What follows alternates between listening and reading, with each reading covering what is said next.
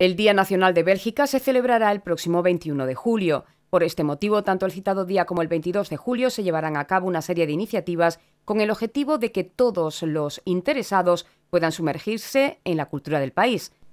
Organizado por QG Belgian Beers and Brasserie y la Delegación de Residentes Extranjeros, cuya responsable es Laura López, el parking del puerto de la Duquesa será el escenario en el que se desarrollen las diferentes propuestas. Ambas jornadas, desde la una de la tarde, todos los asistentes podrán consumir especialidades belgas acompañadas por una amplia selección de cervezas.